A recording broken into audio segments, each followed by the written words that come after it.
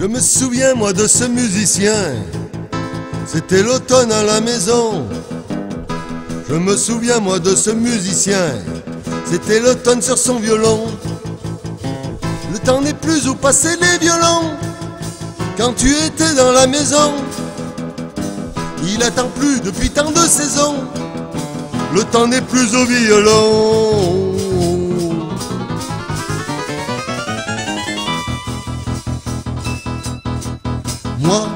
Dans la maison vide, dans la chambre vide, je passe l'été à écouter cette symphonie qui était si belle et qui me rappelle un amour fini.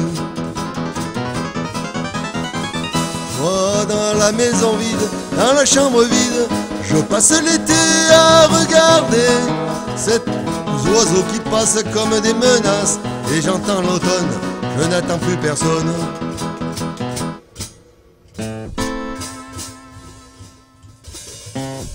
Je me souviens moi de ce musicien, un soir d'adieu à la maison.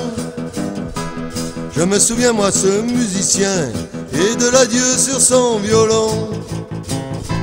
Et chaque année, lorsque l'année finit, j'entends le violon de septembre et le passé comme une symphonie fait son entrée dans cette chambre.